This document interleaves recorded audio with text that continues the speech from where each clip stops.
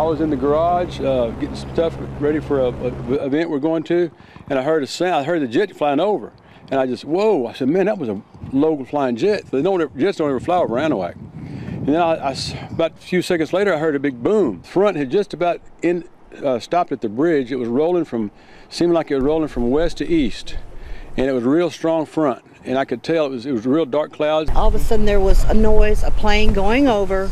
You could definitely tell it was a plane, and it was low, and it had this weird, buzzing, whizzing sound that I've never heard before.